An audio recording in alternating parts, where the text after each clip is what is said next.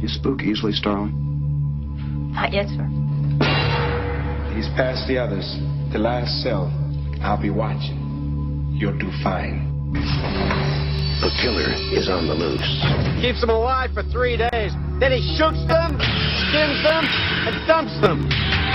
A rookie FBI agent is on his trail. He's got real physical strength, cautious, precise, and he's never impulsive. He'll never stop. But in order to track him down, she'll have to match wits I'll help you catch him, Clarice. with the darkest of all minds. Another video shot. Pure sacrifice. So rare to capture one alive.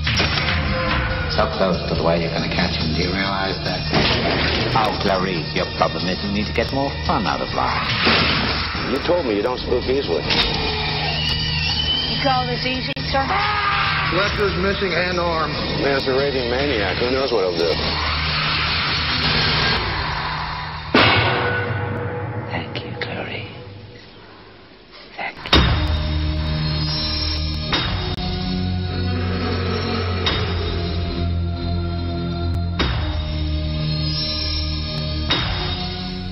I ate his liver with some fava beans and a nice Chianti.